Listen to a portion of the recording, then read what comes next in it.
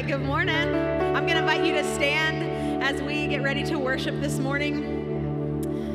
Before we get started, I just want to remind us that um, after our first song, I'm going to release our kids to meet back at the kids' banner over here to my right, your left.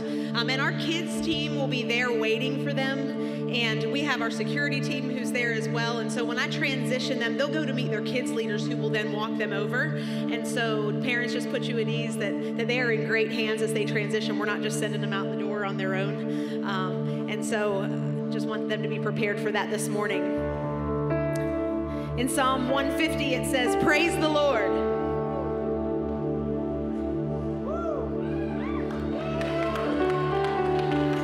Praise the Lord. Praise God in his sanctuary. Praise him in his mighty heavens. Praise him for his mighty deeds.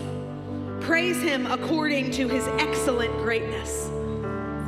Take a moment and just think of, of, of, a way that the Lord has been great in your life, where you've seen him show up. And he didn't just show up, but he showed up with excellent greatness. It says, praise him with trumpet sound, and our instruments might be a little bit different than, than uh, what's listed here. Praise him with lute and harp, praise him with tambourine and dance, praise him with sounding cymbals. Praise him with loud clashing cymbals. Loud clashing cymbals. That's right, that's right. And then it says, let everything that has breath praise the Lord. So I want you to take just a heart check this morning. Take a deep breath and ask yourself, am I breathing? Has there been breath put in my lungs? Did I wake up on this side of the dirt? If there's breath in my body, then I still have a reason to lift my voice in this place today.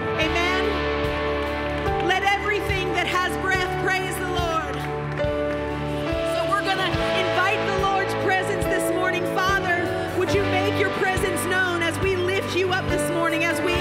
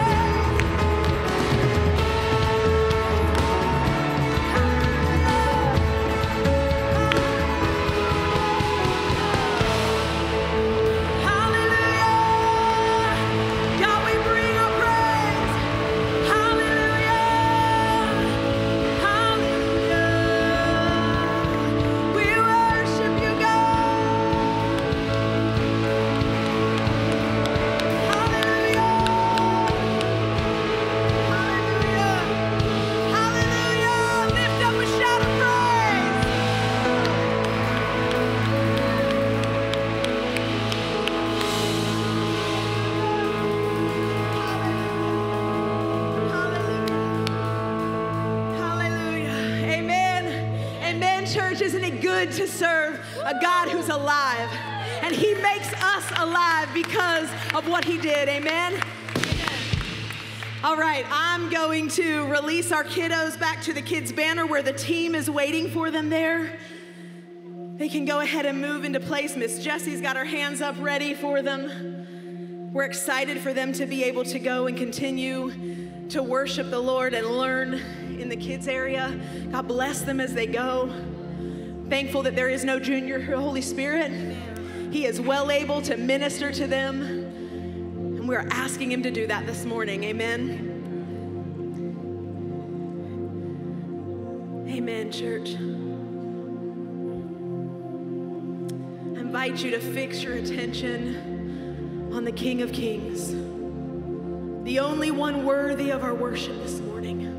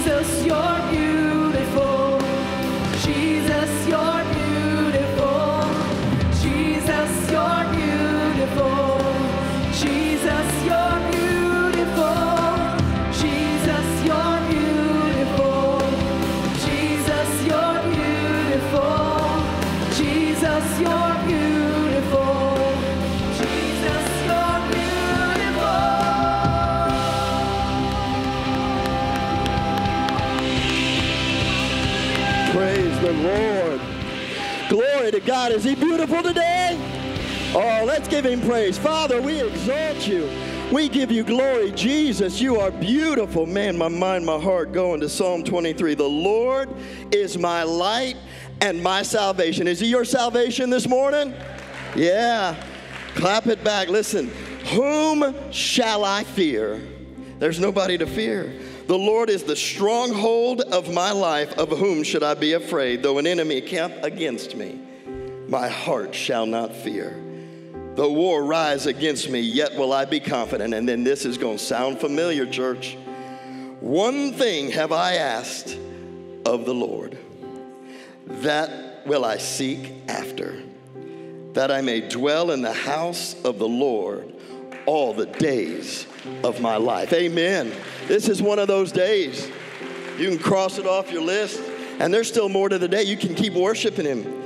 But it doesn't just end there. He says, to gaze upon the beauty of the Lord and to inquire in his temple. So you've come to gaze upon the beauty, the majesty, the purity, the holiness of our God, and to inquire of him, whatever your need may be, whatever your, your, your issue may be. Or maybe you don't even realize what it is. The Lord's gonna bring you a word today. How many know the Lord's got a word for you today? Amen.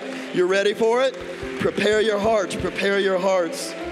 He says, For I will hi- for he will hide me in his shelter. This is his response. He will hide me in his shelter in the day of trouble. He will conceal me under the cover of his tent. This is one of his tents, a gathering place. When the body of Christ comes together and his presence shows up, he will lift me high upon a rock. You have come, turn to your neighbor and say, You have come to the right place. You have come to the right place. You can reset my clock because that was all intermission right there. Praise God. How many are ready for the rain? Ah, some of you are like, stop the rain. No, I'm talking about the rain in this place. Amen. The rain in this place, the R A I N and the R E I G N. Did I get it right? The rain. Amen. And I'm thankful for the rain. I got my sprinklers fixed and then the rain started coming. Praise the Lord. Double duty. You know, Paul wrote in Galatians chapter 6 a powerful key to the kingdom and a principle that we need to remember, and that is this you reap what you sow. It says you reap what you sow. What you, you get out, what you put in. And so sowing seeds matters. Preparing your field for the harvest matters. Seeds matter. Listen to me. If you if you plant an apple seed, you get and if you plant an orange seed, you get. And if you plant nothing, you get. Listen, tithe and offering, it's not just the moment, come give your money, we need to pay the bills. This is an opportunity to worship God, but to plant your seeds, prepare your harvest for the rain that's coming. I heard a story about two farmers, and they both desperately needed rain. It was dry, their crops, their land dusty, and they needed rain. So they both knelt down and they prayed for rain. But only one prepared his field for the harvest and sowed some seed. Now, the good news is this God brought the rain. And they were both refreshed and they were both blessed, but only one was prepared for his field to receive the rain and to receive the harvest that to bear fruit for the harvest that would come. And it really comes down to this who really trusted God? One prayed for rain, but one prayed for rain and then prepared. So, who really trusted God? And are you trusting Him today? Listen, tithe and offering, trusting God, they go together. It's an act of, of faith, but it's an act of trust. God is going to bring the rain, church. He's going to bring the rain in His timing. The question is will, be, will we be prepared when that rain comes? Will our fields be prepared? Will they be ready for harvest? So, what we do is we come in here and we worship. We come in here and, and we hear God's word and we learn and we grow. We come in and we serve and we give and, and, and we give our tithe and our offering and honor God because we're trusting Him, His mission, the greatest mission ever to know Him and for His presence to be in this place and then to share Him with the world around us. Can I get an amen? So the question is are you ready for the rain? You reap what you sow. What a kingdom, a kingdom principle, and a key to the kingdom.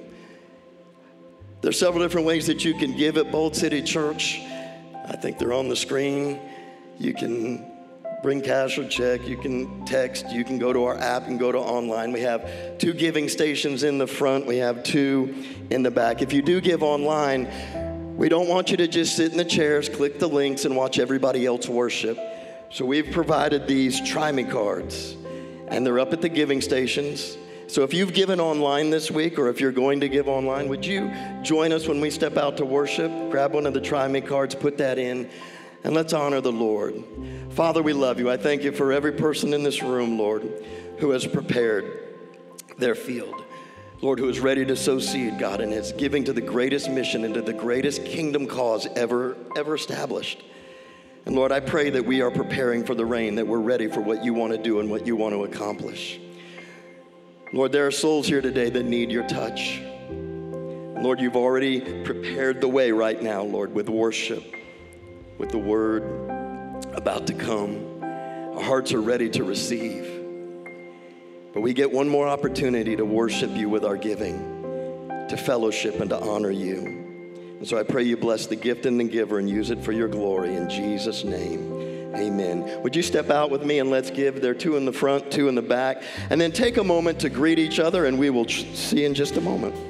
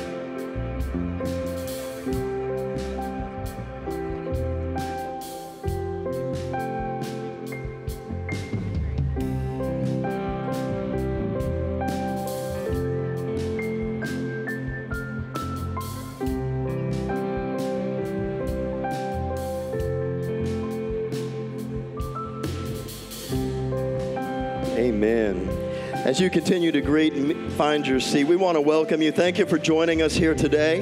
If you're in the house, we are so glad that you're here. Our team has been working hard. We got here at 6 o'clock this morning. We have been uh, laying things out, getting things ready, setting up lights. So, would you give a big hand clap to our serve team? Amen. Many of them will be staying to help. If you'd like to join that, you can uh, talk to somebody at the hub on the way out, the inside or the outside hub. Thank you for joining us online. It's a privilege to be able to minister and to share with you today. Uh, if you're new here, it's real important. If you're new here, if you're a guest, maybe this is your second or your third time, but we haven't gotten a chance to meet you. We want to make sure that we know that you're in the house with us. And so, would you, if you're in the house or if you're online, would you text the word at any time? Would you text the word guest? The word guest to 860 850 BOLD. It's on the screen. That's 2653. 860 850 BOLD or 2653. So if you're a guest, if you're sitting next to a guest and they're not have their phone out and they're not typing it in, we want to make sure that we knew you were here. We want to pray with you. We want to encourage you. And we're just thankful that you made the choice uh, to stop by. If you don't text, if you don't want to do that, we do have a hub that's inside right here and one out towards the food, uh, towards the Hope truck. We'd love for you to stop by and meet one of our greeters and uh, let us have some information. Uh, also, want to remind those about our online streaming. Uh, our team is amazing, but one of the problems that we've had over the weeks is just getting a consistent connection and uh, being able to do that. So our solution has been pretty simple. We're capturing all of the of the service today and uh, we're going to restream it. It's going to be online. So if you're watching online and you want to see the most recent service, uh, go Monday night. That's tomorrow night at 6 p.m. on our YouTube page, and uh, you'll see a live, full version of our service uh, for you to be able to watch and to see. And if you're watching this today, we're really glad. We appreciate that you've joined us. Uh, this is actually last week's service, um, and uh, if you are interested in seeing today's, this week's service, then go to the YouTube page and check it out tomorrow, 6 o'clock. But next Sunday, uh, we'll be restreaming it as well. That's why we're in the gym, getting a connection, making all that work. Are we happy? We are happy. The, the last uh, announcement is an important one because uh, our kids are going to youth camp, but we also have Bold Week coming. I saw that. We have Bold Week coming. And uh, if you uh, know that this is a, a staple in our church, an important outreach, an important ministry, we're really going to prioritize prayer this year. We're doing half half days. So we're going to be serving in the morning, serving during the, the, the morning hours, and, and, then serving lunch as well. Uh, we'll be praying throughout the day. Uh, we want you to sign up. You can go to our app and you can sign up there, or you can meet up with, with uh, Brittany. Brittany is going to be after service just out these doors and to your right where it says Bold Week. If you've already signed up, she actually has t shirts already. So if you've signed up, uh, you can go by uh, the Bold Week, step and repeat, and collect that. How many are glad the announcements are over? All right, I know you like seeing me and hearing me. Give it up. Let's have Pastor Jason come. Praise God. Amen.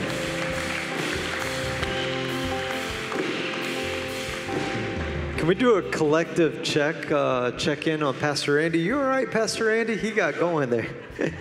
hey, uh, really quick, I just want to piggyback on the Bold Week thing. That is our local mission trip, and uh, and so if you've never been on a mission trip, here's a great way to do that and sleep in your own bed. Um, and so it's an incredible opportunity to be the hands and feet of Christ, but also connect with the Lord in some public spaces and, uh, and just make sure that the, the schools know, supernaturally speaking, that Jesus is Lord. Amen. And to get into battlefield for our young people in prayer, to get into the spiritual warfare. Uh, when we're in the schools. Amen. All right, so we have a crew that is leaving today. Some have already gone.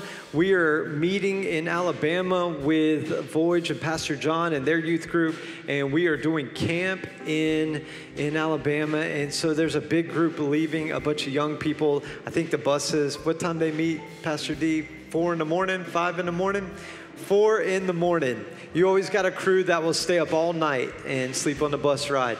Can we pray for our youth? Because I believe that their lives are going to be marked this week. Can you guys just agree with me in prayer? Father, we just thank you that you are already at Monday night and Tuesday and Wednesday, Thursday and Friday. God, we ask that you would absolutely wreck our young people with your presence and your word. Lord, that the teams be unified, the churches be unified, that you be greatly glorified through the unification of, of people serving. God, bless all those who have taken off of work this week, all those who have given to help young people go. God, will you bless them that they're because they're sowing eternal seeds. Lord, may the lost be found, may the broken be healed. God, may the captive be set free.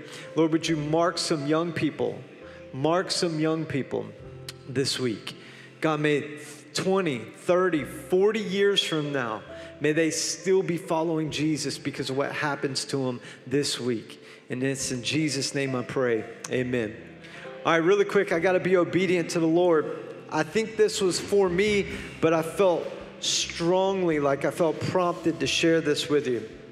Okay, I'm in a season where I was like, all right, this week I was like, hey, I was planning out the fall. I'm excited. I was like, I felt released to do some series and started working. But then as I start to work through some things, the Lord just keeps bringing me back to this like daily bread spot where it's like every day I just need you to completely rely on me. Like, I understand you want to be super planned, Jason, and, and, and all that. But right now, if I want to pivot and I want to do something, Jason, you need to submit to that. And so I've been learning how to do that. Amen. And so I was going to revisit the culture shock, culture shock series, if you remember that from like 2015. Uh, it just seems super fitting with, with kind of where things are going and, uh, and plan to do that. And then the Lord started moving on me Friday about some Hebrews 12 stuff about a kingdom that isn't shaken. And so I was like, okay, maybe we'll start culture, culture shock next week. Well, uh, this is, I, I felt prompted this morning to open up Hebrews and to go to Hebrews 12 in the first scripture. And I believe this is a word not only for me, but for many people in the room. So I just want to share it really quickly. This isn't the sermon, this is maybe something more prophetic. Uh, Therefore, since we are surrounded by a great cloud of witnesses, let us lay aside every weight.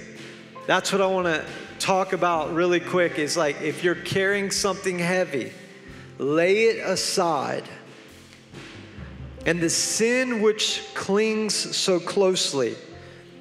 And the Lord gave me a vision. Don't go back to things you used to use to cope.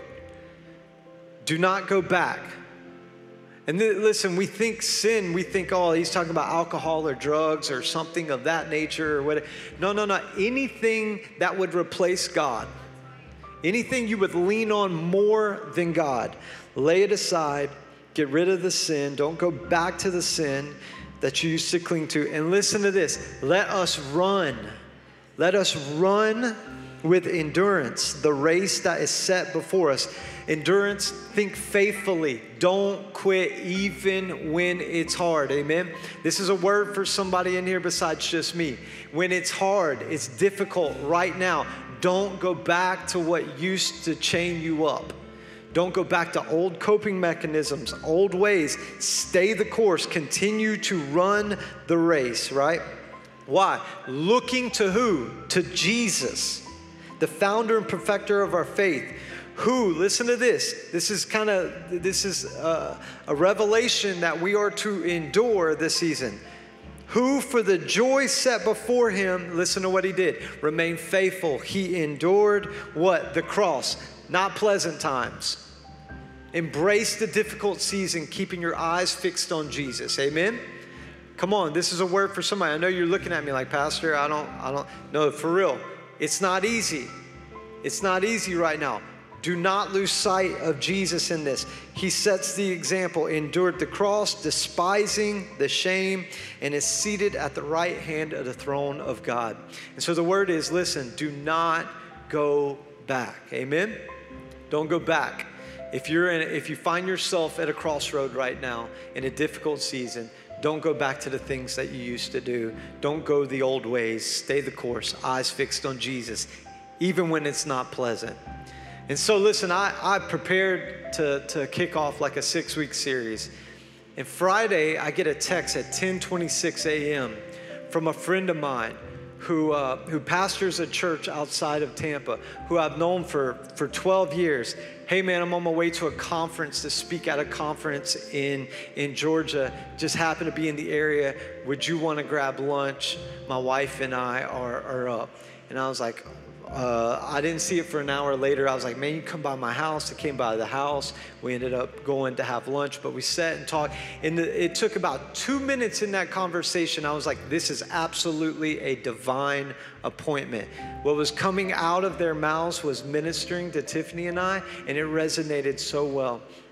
And so we, we sent them on their way um, to their conference. They, they, they left and went ministered up in Georgia and had plans to be there all weekend. And last night he texted me as I was sitting in my office and I was going through Hebrews 12 and praying and preparing for today. He said, Listen, my wife and I really feel like we're, we're supposed to be in the house with you guys. We're actually going to leave the conference early. We're going to come down and be a part of Bold City on Sunday. And when I read that text, I was like, Hey, would you communicate? Would you communicate? Because I, I just believe that there's something prophetic here. And he was like, I don't, I don't need to, but I'd be honored if that's what you want. And so we called an audible. And so it is a great honor for me to introduce you to a guy that I have watched be faithful to the Lord for 12 years. He's after the presence of God. He's after the the he's listen, He's sincere in his pursuit of God. I can promise you that. And I pray that you pick up on that this morning as he ministers the word to us. And his wife is here as well. So could you do me a favor? Could you just stand to your feet and welcome Pastor Gio Munoz to the, to the platform?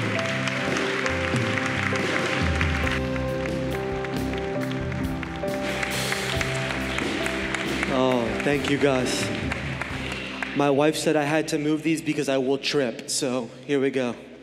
I'm being obedient. It's first act of faith today. So thankful to be with you guys. Um, I love that you have a pastor that is willing to shift everything when he believes God is moving in a certain direction. Many, many pastors have plans, and it's hard to divert from the plan sometimes. And so to be able to even pull an audible and say, hey man, we're just gonna make space for whatever the Lord has, I think is really special. And it speaks about Pastor Jason and Pastor Tiffany and, and what God is doing in this space. And we're so thankful to be back in this region. Um, I actually got saved in this region. I came a, as an 18 year old drug addict kid right down the road in Ocean Way, and that's where I actually met the Lord and spent probably five years in this region. Um, met my wife here, some of my really good friends. So it's so good to be back. It's where I would have met Pastor Jason. I think at that time we were, you were doing Generation Next. We packed around, they packed around 200 kids. It smelled like cigarettes, marijuana, and BO. And God would just move, and that was the craziest thing. It was like the most unchurched environment ever.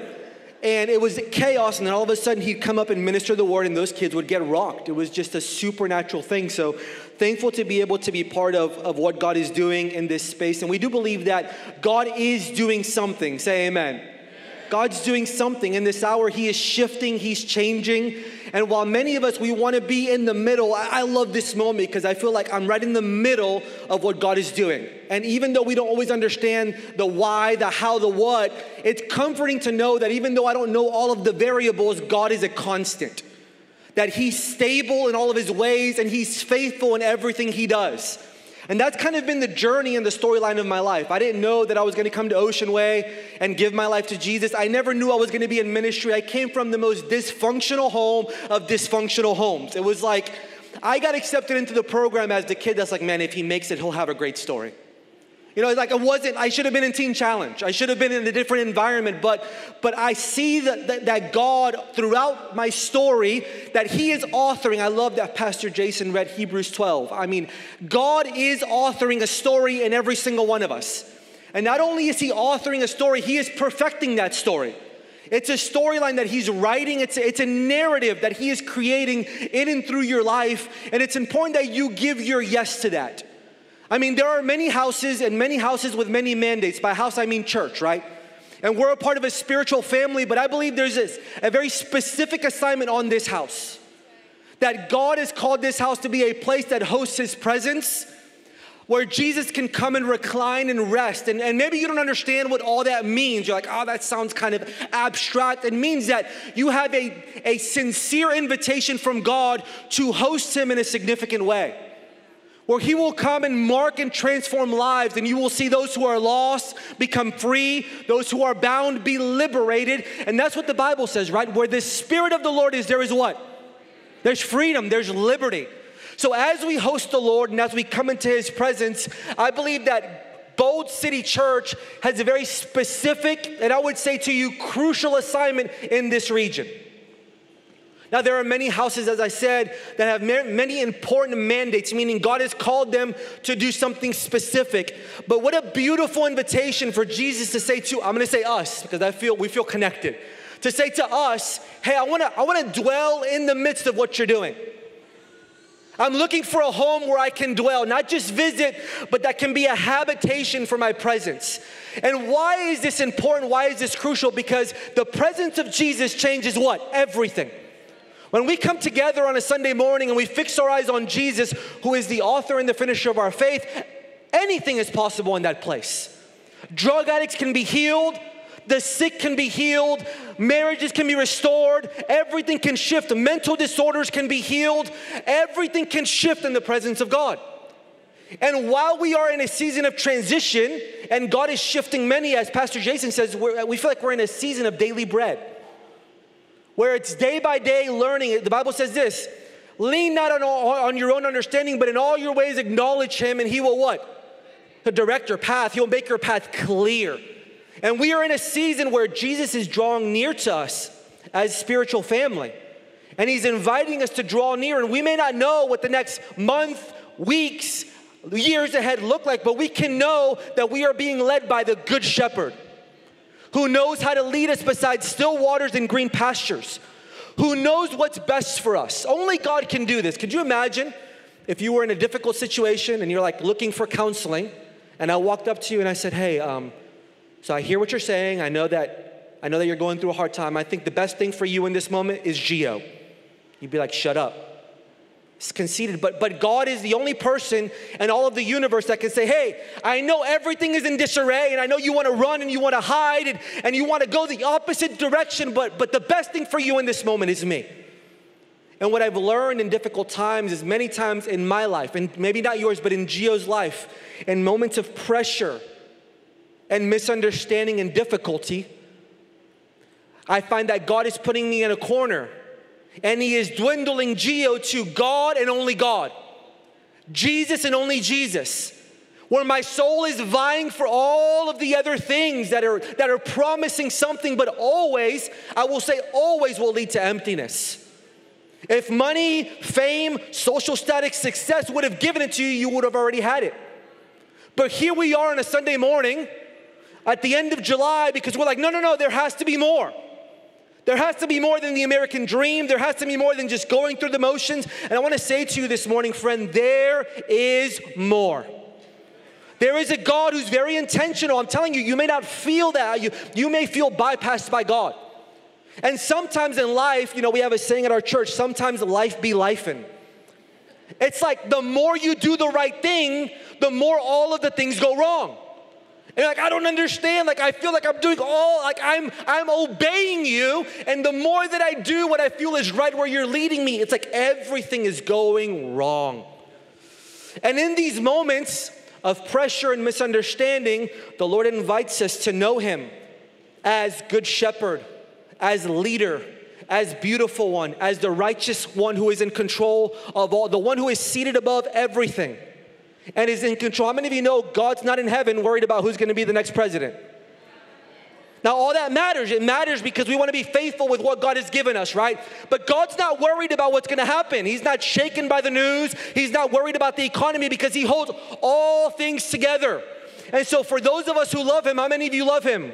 That's the whole room. We love Him. He works all things for good. It does not mean that everything's going to be good. But you can be assured that He works all things together for good for those who love Him, for those who follow Him, for those who have given Him their lives. So this morning, as, as, as I came, my heart was full. I just feel God's zeal, desire, delight for this house. And to continue forward into all God has spoken because God's promises over this house are yes and amen. That means yes and let it be. How many of you know when God says yes and let it be, it will be yes and it will happen? Doesn't matter what things, because we're not moved by what we see. We're moved by what He said. And there's a gap sometimes between what we hear and what we see. Sometimes we hear, and while we hear and we move in a certain direction, it doesn't always manifest immediately in what we see. But again, I want to encourage us with Second Corinthians 3. Paul in Second Corinthians 3, he is contrasting the old covenant and the new covenant. And he is speaking to us about a more excellent way. Paul's making a delineation between that which was and that which is. He's not saying that which was doesn't matter. That which was matters, right? It matters the history of our faith and how we got to Jesus being on a cross and dying and giving his life so we can be liberated. But he's saying this hey, listen, while the old covenant was amazing and Moses saw the glory of the Lord and he went up a mountain and they experienced something supernatural, what we have now is far greater. Say, far greater. Let's try it again far greater. It's far greater than anything that those guys experienced. So then he gives us this language that I think is so powerful. He says, Now, say now. Now the Lord is spirit. This is verse 17. And where the spirit of the Lord is, there is liberty. This word liberty can mean emancipation from bondage, meaning whatever has you bound this morning, according to this scripture, because the Spirit of God is resting in this place, you have the opportunity to be liberated from sin, from the fear of man, from the opinions of others, from the voice of the enemy. We have the opportunity because the Lord is Spirit, where the Spirit is Lord, right? Where the Spirit is Lord, and He has the opportunity to rule and reign, there is liberty. And we all say, all. How many of us? all, we all, with unveiled faces, continually seeing as in a mirror the glory of the Lord. So, what are we seeing? He's giving us access to behold Him to see him as we said we're a people of his presence and we, this is a lifelong journey we don't pretend to know what all that means but but we do sense an invitation right to draw near to god his promise in the new testament is if you draw near to god he will what he will draw near to you it's not, a, it's not a what if or a maybe, he will draw near. So we all, with unveiled faces, meaning given complete access to God, we behold as in a mirror the glory of the Lord. And as we do this, we are progressively being transformed, which how many of you want to be transformed? I want to be transformed. Like there are areas in Gio's heart that I'm still working through. That I'm like, God, I, I, I need your help, right? We need grace. And so as we fix our eyes on Jesus, as Pastor Jason said, the author, the finisher, and the perfecter of our faith, we are progressively being transformed from one degree of glory to the next, which comes from the Lord who is spirit. So watch this. The Lord is inviting us, even this morning. You're like, man, my life is a dumpster fire. You don't know. You don't understand all that I'm going through and, and the feelings and the emotions, and my soul feels raw. In this moment, Jesus is like, the remedy for right now is for you to fix your eyes on me, to stabilize your heart on what I've said, and not be moved by what I see. And the promise is you'll be transformed day by day from one degree of glory till the next. And you're like man i don't understand how that works. That seems to i just there has to be a better solution. But that's the problem with human nature that we think we can do and strive our way into freedom. But we have been given the ministry of the new covenant which says when jesus said it is finished he really meant it. He really paid for all of the brokenness for all of the sin for all of the bondage. Yet still I know there is an enemy who the Bible says he comes to what? Steal, kill, and destroy. He has come and he has an agenda. The Bible says, beware of the schemes of the enemy. And the schemes of the enemy, they come to steal from you, to rob from you, and to destroy your destiny.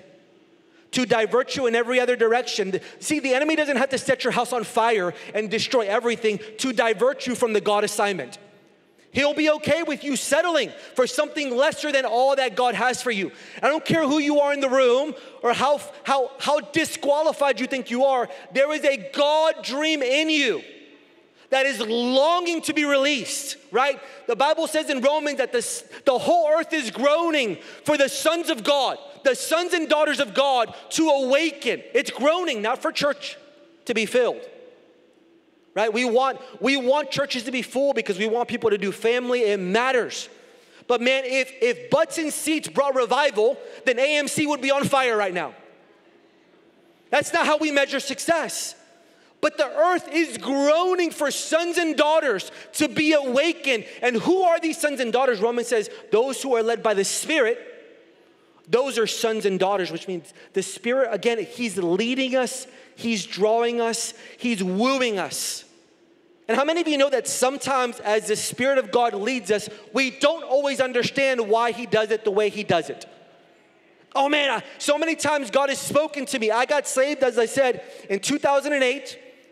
And for like three years, everywhere I went, it was like God would just touch me. Anytime any kind of prophetic person came into a room, I'm like, God, I repent of every sin. Because I just knew they were gonna call me out and say something about me. It was for years. Uh, that was just the trajectory. It was like, man, there's so much favor. My life was going in one direction, which was hell and destruction, and God touched me. And all of a sudden, I was like, oh my gosh. And so, 2011, I graduate from ministry school right down the road at Ocean Way. They hire me at the church, and I'm like, man, everything that I'm desiring God to give me, He's given. It's like everything, everything's like Disney World, cotton candy happy. I marry my wife. We met in ministry school. And I'm like, everything is on the up and up. I'm ministering to young adults. I'm like, this is life. And then all of a sudden, I did not know that 2011, 2012 would become the hardest year of my life ever. For three, four years, everything was going the way that I thought it should go because we all have an imagination of how we think the God dream should play out. But how many of you know God is just as interested in the process as He is the, in, in the journey as He is the destination? Say it again. We're worried about the destination. God, you said, let me get there, but God is very interested in the process. And this is very offensive because in a culture that is, man, if I if I'm ordering something from Amazon and it doesn't come next day or two day, I just don't believe God wants me to have it. It's just, it's just not for me. God doesn't have it for my life. That's the way we live our lives, but God writes long stories. They're long and they interweave, and there's beauty, and there's ashes, and there's joy, and there's mourning, and He's in the middle of all of it. So, again, growing up in a dysfunctional home, no dad, there was a lot of trauma. One of the things I wanted as a young kid is I wanted a family. I'm like, man, I want to build what I never had. I want to have a wife with kids, and I want to do it with God, and I want to do church. And, and I'm like, let's do it. And I'll never forget about six months into our marriage, my wife having her first miscarriage. And it was very difficult. Like, I don't understand this. Everything was trending up and up and up. All of a sudden, it's like, what?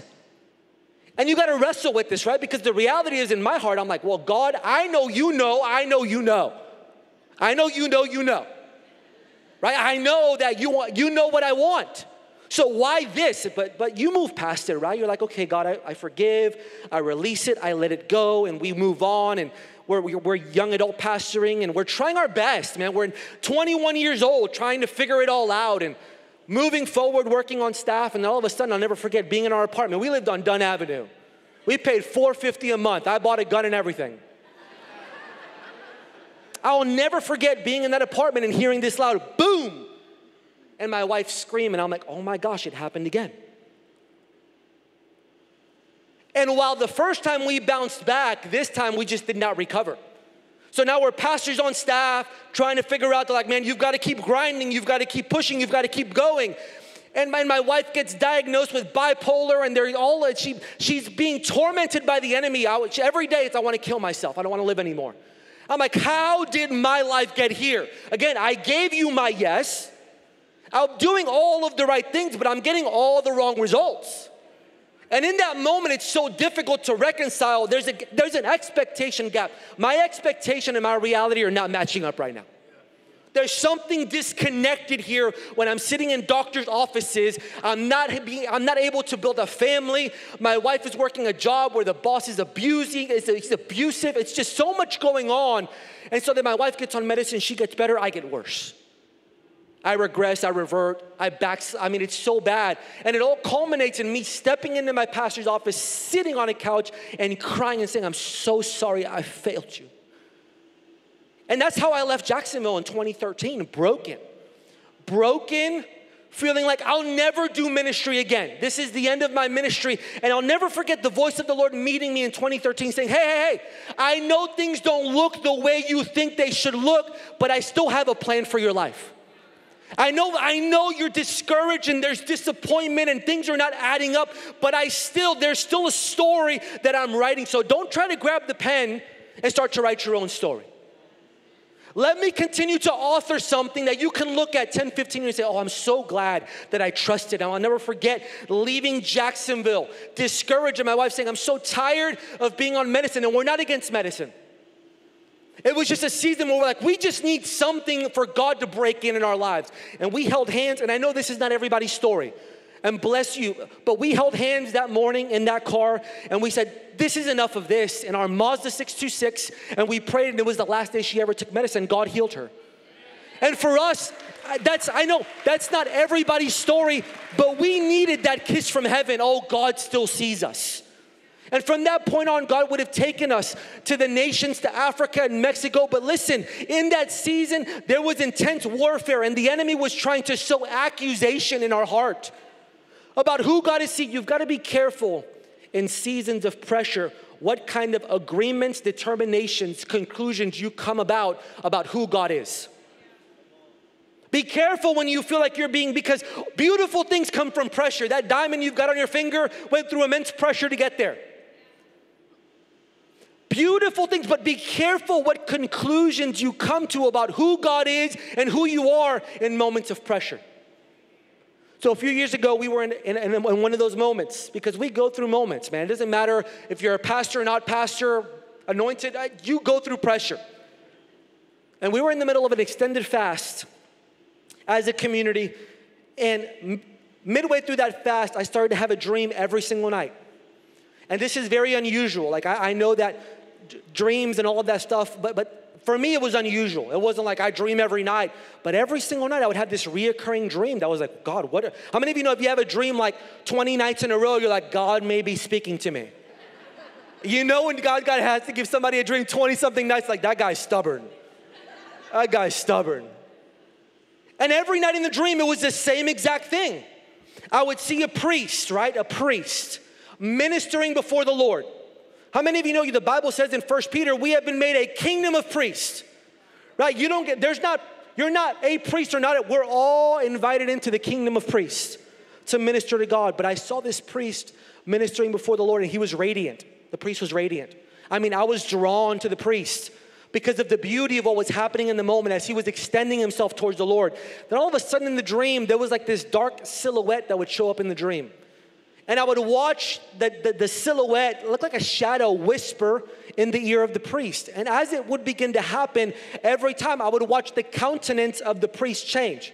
You ever seen something sad and somebody's countenance change? Or you met somebody who their countenance looks sad? That's what was happening. The countenance of the priest would change as the whisper came. And every time in the dream, I would move towards the priest and I'd say, Hey, take heart. Don't let sorrow creep in. And in the dream, I understood every single time that even though the accusation came from the outside, it, it took root on the inside. And the assignment of the enemy was to cause the priest to lose his radiance, the beauty, the zeal, and cause him to divert, to abort, to, to let go of his assignment. It was to sow discouragement and to cause him to go the other way. And so, as I'm having this dream, I'm like, Lord, you've got to lead me to the Bible because we are Bible people, right? We want to be rooted and grounded in the Word, right? Okay, good. I'm glad we're on the same page. We want to be rooted and grounded. And so I started to ask the Lord, Lord, I want to talk to me about sorrow.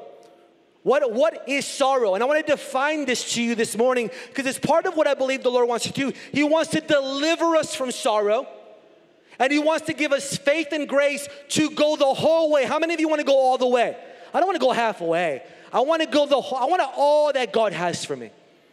And so the definition of sorrow is this it's a feeling of deep distress, and this distress is caused by loss, disappointment, or misfortune that is suffered by oneself or others. Meaning, there are situations and circumstances that happen, and they're painful, they're disappointing, they're hard, and they cause distress on the inside, which will manifest as disengagement on the outside. So the Lord led me to Zechariah 3, if you want to turn there in your Bibles, because everybody, every of you have your Bible, right? We have a sky Bible here, it's okay. Zechariah 3, it's an interesting story where Zechariah is inserted into a moment where the accuser, the Bible calls Satan the accuser of the brethren. You've got to know this.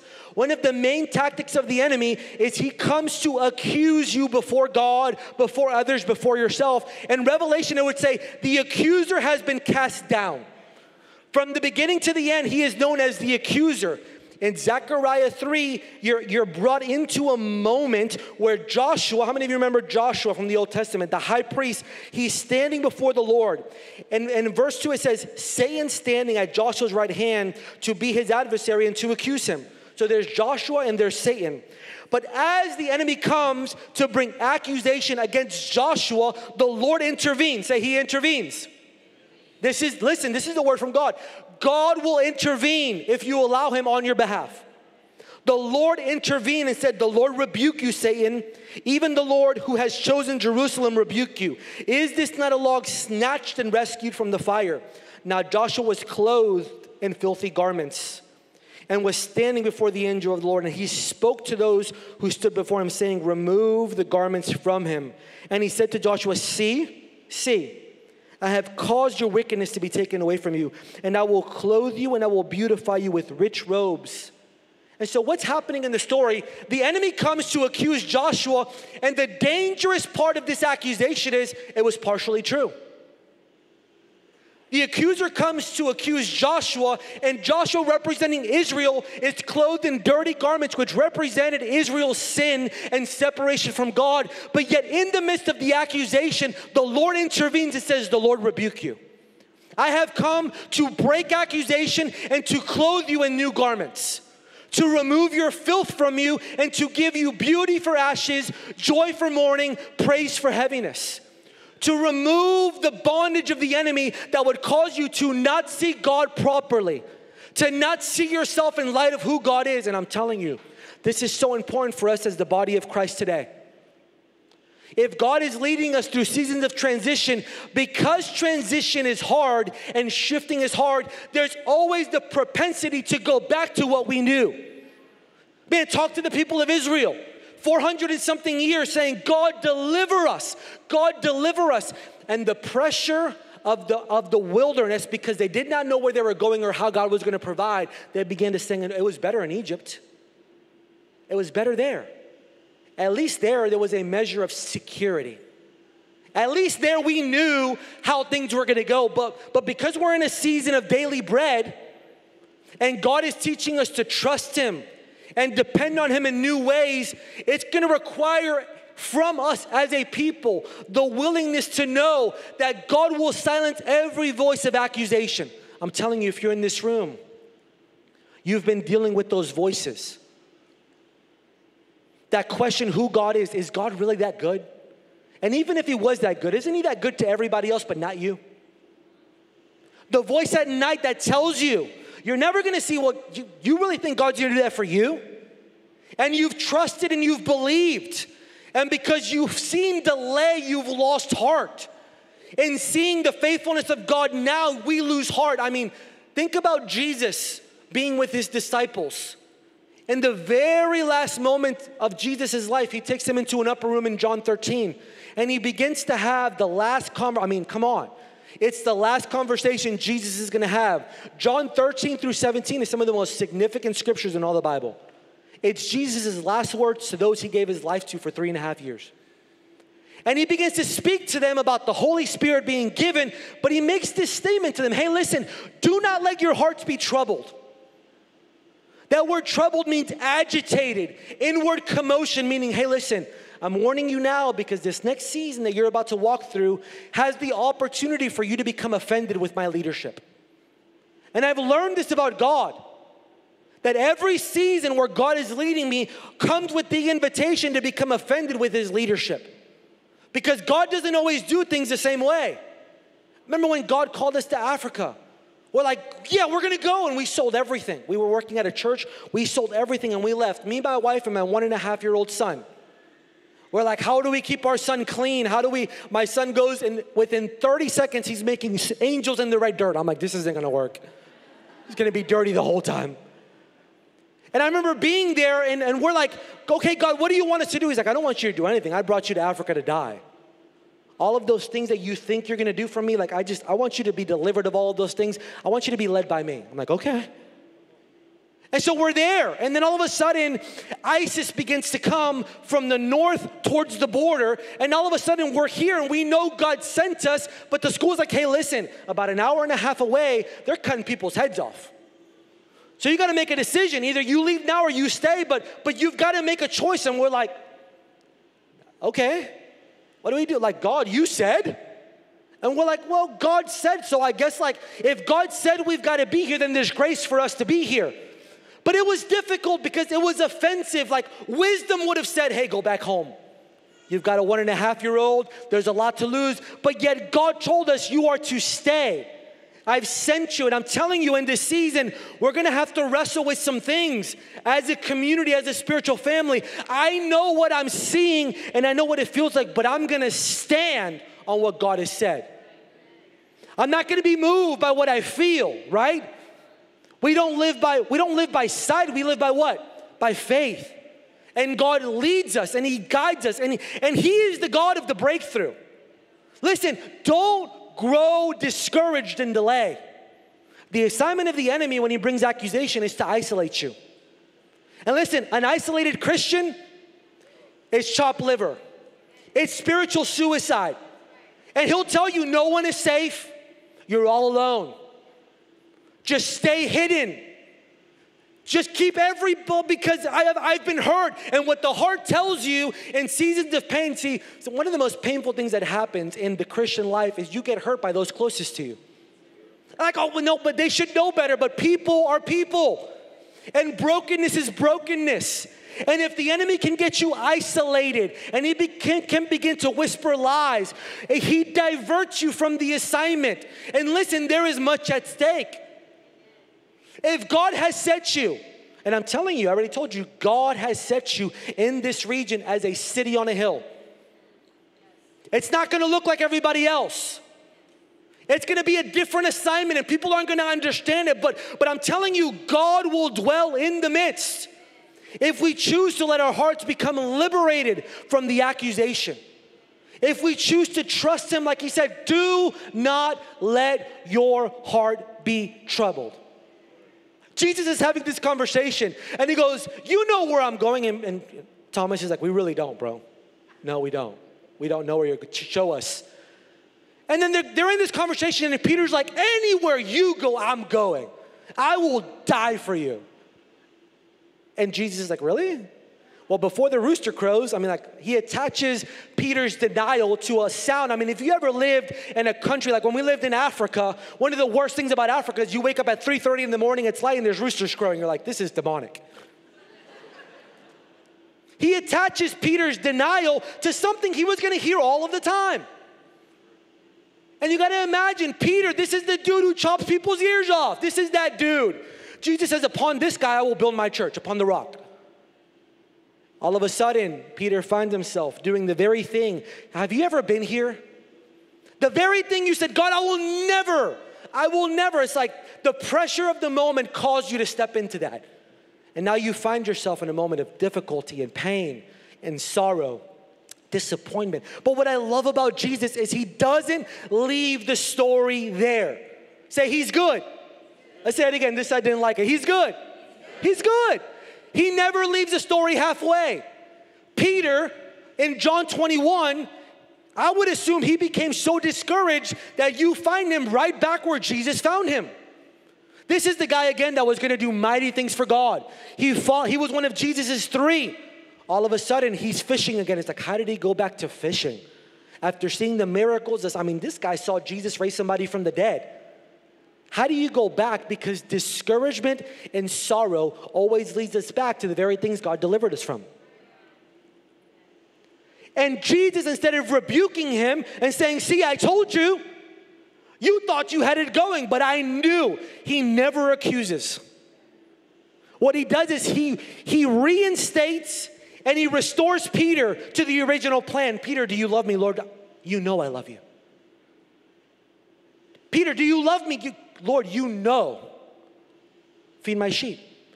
And he restores Peter in a fire, in a moment. And I remember, I would imagine now, for the rest of his life, every time Peter would hear a rooster crow, it wouldn't be about the moment that he denied the Lord, it would be about the moment the Lord restored him. It would be a moment where it's like, oh, I messed everything. I went all the wrong ways. And Jesus built a little fire on the beach to let me know, even though I'm dysfunctional and I'm a mess, He still chooses me. Friend, you've got to know. The assignment on this house is not about 10 or 12 anointed people. It's a spiritual family on kingdom mission to host God. And while there is an assignment from the enemy to steal, to kill, and to destroy, John 10 says to us, I have come. This is Jesus. I have come to give you life and to give you life in abundance, in overflow. And this is the destiny of this house it's to overflow. It's to be a pool of Bethesda to those who are hurting and broken that need healing. It's a different way. It's a people who are not living for this age, but for the age to come. They're, they're fascinated with the king who is Lord over all things. And we still listen. You still got to go to work and you still got to deal with Joe. You're going to ride in your car, your wife, husband's going to say something sideways. You're going to have to deal with that. But our lives are not structured around what this world can promise us, which is not much. But our lives are structured around a story that God is writing. That we get to be a part of the restoration of the north side of Jacksonville. That we can be those who turn high schools, colleges upside down. We can be those that walk, but listen, you've got to be healed and liberated from every weight that would so easily entangle you. You've got to be delivered from what people think about you. If you're in the room today and you've been dealing with mental torment, why not today be the day that Jesus breaks that thing off of you? Where people have wounded you, they've hurt you, they've lied on you. I'm not saying they're right. I'm saying don't let their wrong deter you from what God wants for you. Don't be a, don't be a prisoner to those chains. Don't, don't let this moment change your view of God or your assignment within that. And I'll land with this story because it's, it's red here now. It's red. It's yelling at me. One of the things I was feeling last night is in Mark 10, there's a story of a blind man who's in Jericho. And he's blind, he's a blind man, so he's blind. The Bible calls him blind Bartimaeus, but his name is actually just Bartimaeus. We love to label people by their dysfunction, but that was, his name was Bartimaeus. And I don't know how long he was blind. He was sitting by that gate for a long time, but he catches wind that Jesus was entering into the town. And for some reason, something inside of him said, Hey, I've got to get to that man. I've been blind, I'm lacking, I'm broken, there's dysfunction, but, but if I could just get to him or he can just get to me, everything would change. So as Jesus is walking by the gate, he begins to shout. I mean, we've lost that. Sometimes it's like we've got to be so dignified all the time. But like when you're actually in like in, in, a, in a terrible situation, you don't care what nobody thinks. Forget you, you didn't die for me. You can't heal me. As he said, gee, he says, Son of David, have mercy. He begins to cry out. And it's so, it's so disruptive to everyone around that all the religious are like, hey, shh, don't, don't do that. It's Jesus. Just if he wants to come to you, he'll just come to you. But something, the desperation on the inside of him to be delivered from his current situation said, no, no, no. I'm not gonna let this one pass me by. Son of David, have mercy. And as he was crying out in desperation in that moment, Jesus, he turns aside and he says, Tell him to come. And the Bible says in Mark that all of a sudden he takes off his cloak. Just picture this, right? At that time, to be a beggar, you needed to have a cloak that would identify you by your dysfunction. They were beggars, so they had cloaks on and they would ask for money, and that's how they knew within the community oh, that guy's blind, he's a beggar. But the moment he caught wind that Jesus had turned aside, the Bible says he throws off his cloak as if to know, hey, now that I've got Jesus' attention, I'm never gonna need that again. Everything's about to change. So finally, he's face to face with Jesus. I love Jesus. The blind person walks up to Jesus, and Jesus looks at the blind guy and he's like, What do you want me to do for you? What? Uh, bro, I can't see. I, but but he wants us to ask, right? Those who ask receive, those who seek find, to those who knock, the door will be opened. There's an inquiring of him.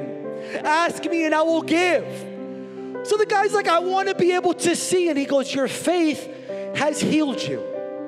And he's restored. And I just wonder if in Bold City Church, what's today, the 28th? My days are all turned upside down. I've been with no kids for three days. But I wonder, like, if in this moment there are some that's like, hey, I just, I'm ready to take off that thing that has been weighing me down. To fully be able to step in to all that God has, and it's gonna require courage. It's gonna require, uh, it's one of the things I love about Pastor Jason. The authenticity and the transparency and the vulnerability is so rare. But for some of you in the room, you've been dealing with that accusation. The enemy has said things over you. And while they came from without, they have taken root within. And they've been wearing you out. You're tired, and no nap's gonna fix that tiredness. We isolate, we get alone, and the enemy begins to torment us and wear our souls down. And before we know it, we cannot even stand. And this is the last thing I'll say. When Jesus was in the garden, he invited a few to stand with him in his most vulnerable, painful, difficult moment. And in Luke 22, it says this the disciples had fallen asleep, and they had fallen asleep due to sorrow. In Jesus' most vulnerable moment, those who he invited to stand with him could not because the sorrow within was affecting that without. And I'm telling you, I have faith this morning that God wants to heal and to liberate hearts. He wants to deliver because, again, where the Spirit of the Lord is, there is what? Freedom. So, friend, today's a good day for freedom. It's a good day for you to divorce yourself from the accusation of the enemy and to step into all that God has. So, can we just stand together?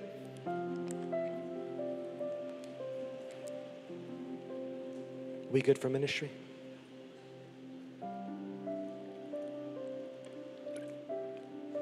It would be our absolute honor to pray for you this morning.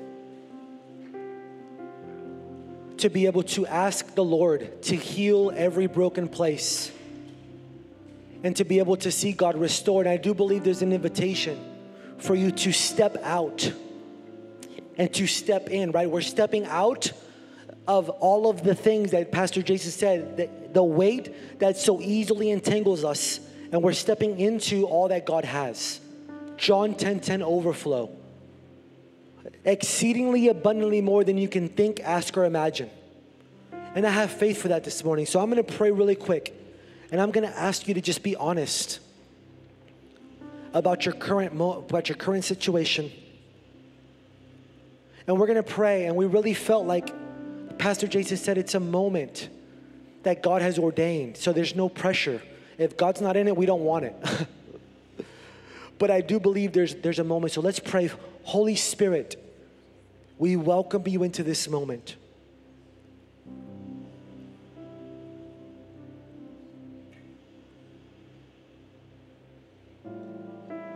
Even now, we want to be still and know that you are God.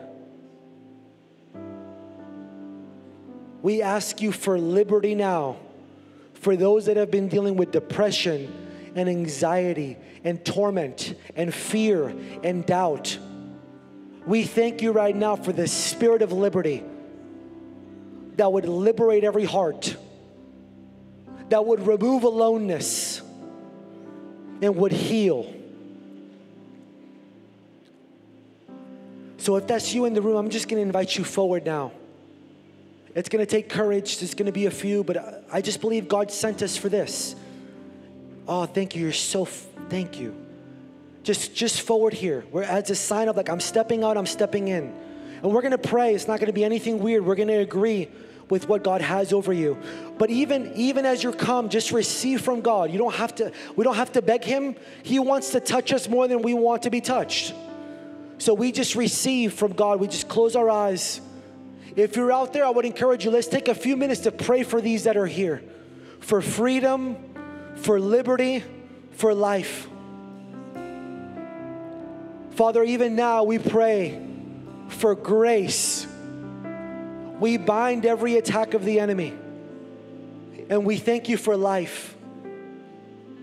We thank you for freedom. God, remove disappointment, remove shame, remove condemnation. Can we pray together? Remove condemnation, Lord. We, we together agree to break every assignment of the enemy over every one of your sons and daughters in this room. We ask for peace, hope, joy. Holy Spirit, fill, fill, fill. You know, one of the things that we don't do well in the US that we learned while we were on the mission field is we preach a gospel that's a gospel without suffering. But the gospel without suffering is not actually the gospel at all. In Isaiah 53, Jesus, it says to us that he is a man acquainted with sorrow. It's not that sorrow doesn't come, it's that it doesn't take root. We're familiar with sorrow, but we have a high priest who is moved to compassion. And oh, friend, I'm here to tell you today, he has been moved. Oh, he sees you. He sees you. He's not looking over you. He's not passing you by. Father, we just welcome you. We welcome your presence into this room right now, Lord. Oh, Son of David, have a mercy this morning.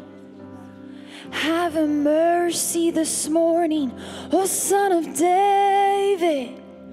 Have a mercy, Son of David. Have mercy. Oh, good shepherd, would your rod and staff bring comfort this morning? Lord, would you bring liberty to our hearts, the hearts that feel weary, all who are heavy and weary, and would you come to the Father? He will give you rest this morning. He will bring you rest, for his yoke is easy and his burden is so light. Jesus, your yoke is easy. We don't have to strive because your yoke is easy. Father, with your mercy and your grace, just reign in this place this morning.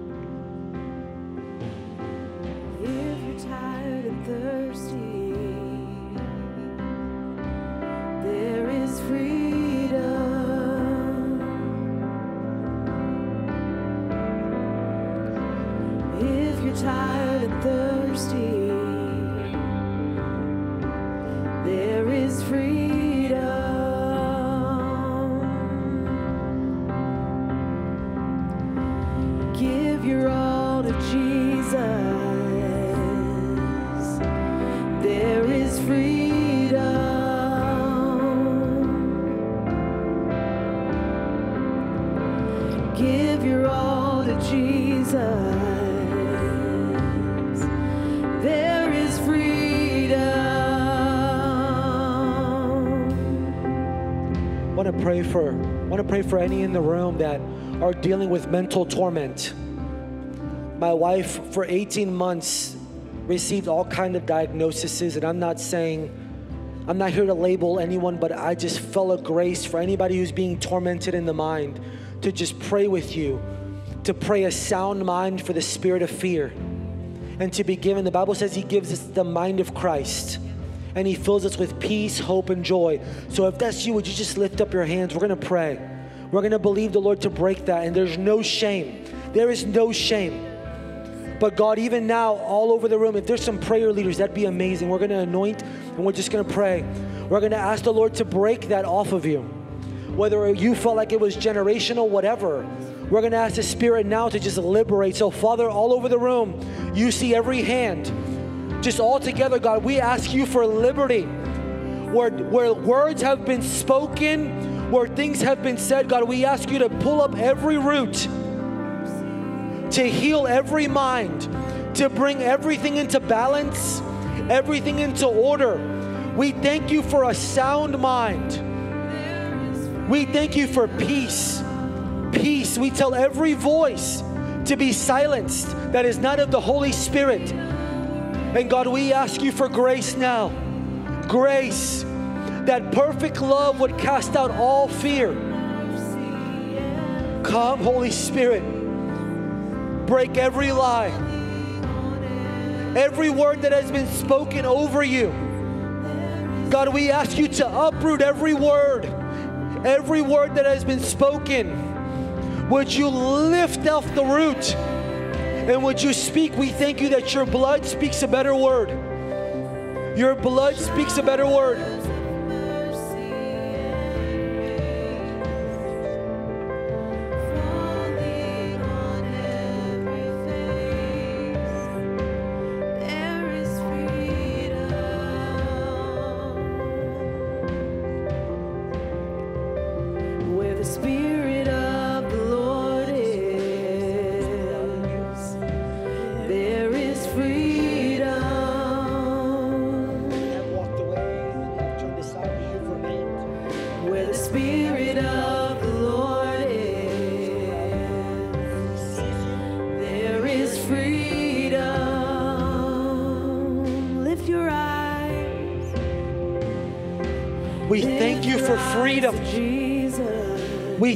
For freedom. there is freedom. God, would you heal, deliver? Lift your eyes to heaven. There is freedom. God, we pray over this community, God, and we say yes and amen to every dream and every desire. That every dream, every word that you have spoken would come to pass. showers of mercy and grace falling on every face. There is freedom. We thank you that your yoke is easy and your burden is light.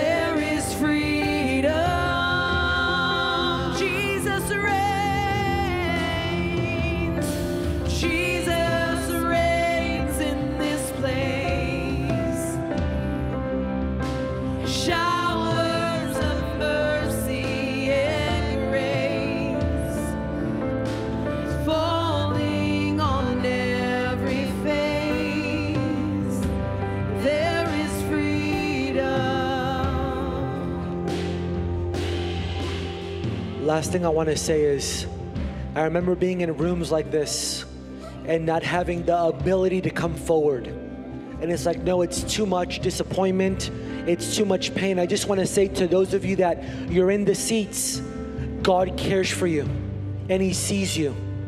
I just want to be able to see you. God, God sees you and He cares about your pain. And just because you didn't come forward today doesn't mean that you don't care or that you're broken, but but I want to let you know in this moment God's love is extended. And he sees you in your pain and he will not pass you by. God writes the best stories. And maybe today, the pain of returning forward, it was just, I'm like, I can't do that again. I want you to know God loves you and God cares for you. And God will make crooked paths straight. He is the God of the impossible. And even though you don't see it now, He's working. And so, Father, we bless all of these sons and daughters in the room. We thank you for the destiny, for the dream. God, we speak hope and encouragement. We thank you that you care, that you are the God who sees, the God who hears. And God, even now we receive your love. We ask you to bring us back to life. We love you. Would you. Can we just lift up our hands for just a moment? We love you. Make our hearts soft, make our hearts tender. Help us to feel again. And any place where the enemy is destroyed, God, we ask you for life. And any place where he is stolen, we ask you for restoration. Fill them with your love. Fill them with hope. Fill them with peace. Fill them with joy. We thank you, Holy Spirit, for life and life in abundance.